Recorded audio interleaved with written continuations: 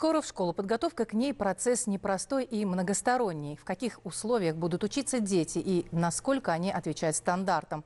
Об этом материал из Сардаринской области.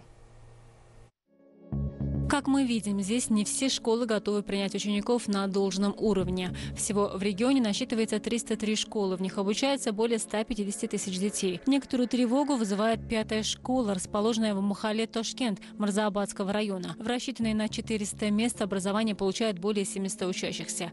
Процесс проходит в две смены. Не хватает преподавателей русского и английского языков. Ремонт делают исходя из собственных возможностей и энтузиазма. Присоединились к нему и родители. Күнде 730-дан ашық болу керек Сегодня здесь получают образование 720 учащихся. Не хватает кабинетов, нет условий заниматься после уроков. Если честно, нам сложно работать в две смены. К сожалению, в новом учебном году дети будут продолжать проводить предметные опыты и эксперименты по химии и физике на устаревшем оборудовании. Как мы видим, они совсем не соответствуют современным стандартам образования. Электропроводка открыта, в плохом состоянии и полы в кабинетах. В этой школе не было капитального ремонта с 1983 года. Нет компьютера в кабинете информатики. Давали заявку, но до сих пор нет ответа. В объектив нашей камеры попали и спортивные залы школы, которые уже давно устарели. Очевидно, здесь не было ремонта много лет. Оборудование не соответствует ни требованиям, ни ожиданиям учащихся. Футбол, баскетбол, есть кружки по футболу, баскетболу и тейквондо. Проводим занятия по шахматам. Наши дети не раз принимали участие в соревнованиях, где занимали почетные места. В основном не хватает мячей. Они все односезонные.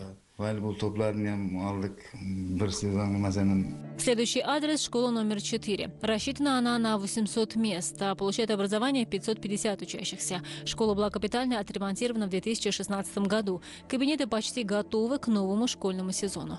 В этом году будет соответствовать современным условиям учебного процесса и школа номер 16, расположенная в Махале Янги Хайот.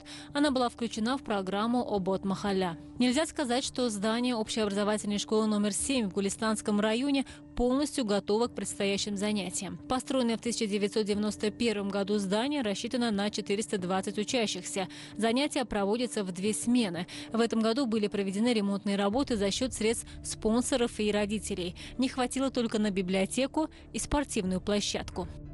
Кстати, пятая общеобразовательная школа города Гулистана также была отремонтирована за счет средств родителей и уже 1 июля была готова принять учащихся. Однако 10 дней назад в школе почему-то начались строительные работы. Двери и рамы были полностью сняты и, как обещают, будут заменены на новые. Успеют ли они к началу учебного года, покажет время. Ну а следующий адрес – школа номер 8. Все двери классов сняты. Спортивная площадка совсем не соответствует требованиям. Парты в плачевном состоянии. А до начала учебы учебы осталось чуть больше двух недель. Успеют ли ответственные лица решить эти проблемы? Вопрос остается открытым.